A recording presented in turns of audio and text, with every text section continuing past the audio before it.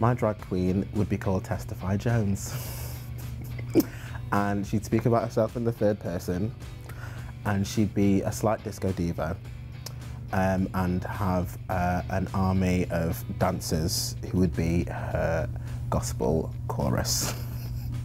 As you can see, I've not given this any thought at all. oh my goodness. I'm Every Woman by Chaka Khan, particularly the last bit after the bridge, after the hook. The bridge? The bridge. Um, where she just goes, uh, you know, I'm not going to do it. but shade is something you throw, and it is uh, a dirty look. Uh, normally, normally um, combined with side eye. Oh, see, my friend says it in a sort of like, that's really good way. Like, that's BE, like that. Is that right? Like, it's a good thing? The T is the gossip. oh no.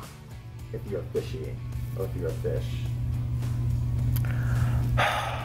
Oh, I can't remember. Oh, that's so annoying. I can't remember. Uh, it means that you're you look like a girl. A party? Yes, because let's have a kiki. That's right.